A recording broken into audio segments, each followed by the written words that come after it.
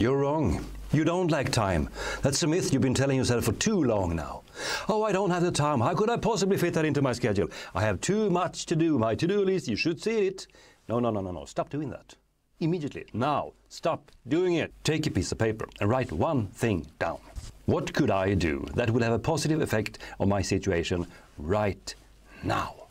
Answer the question on the paper. How long should it take? An hour? Three hours? Two days? Doesn't matter. Don't give yourself too much time because you will use any time frame you give yourself. Set the alarm for, let's say, one hour. Now work only on that. Nothing else. No phone calls, no checking emails, no time wasting surfing the you know what. No social media. Put your phone in another room. Like that. Now work on what is on that piece of paper until the clock rings. I can guarantee you this. You will feel awesome afterwards. Now put the phone down and go away and do it.